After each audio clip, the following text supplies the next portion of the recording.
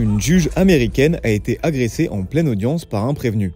Marike Olsus, juge de Las Vegas, présidait une audience où était jugée Deborah Redden, un homme accusé de tentative de coups et blessures. Comme de nombreux procès aux États-Unis, l'audience était filmée. Sur l'enregistrement public des débats, on peut voir l'avocat du prévenu réclamer du sursis avec mise à l'épreuve pour son client. Mais la juge qui avait évoqué auparavant le casier déjà bien rempli du prévenu ne semblait pas de cet avis.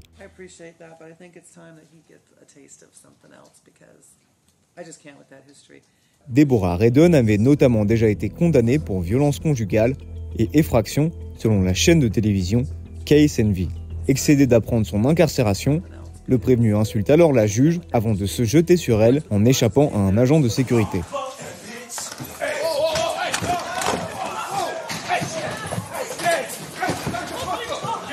S'ensuit une mêlée au cours de laquelle il assène de nombreux coups avant d'être maîtrisé par plusieurs personnes.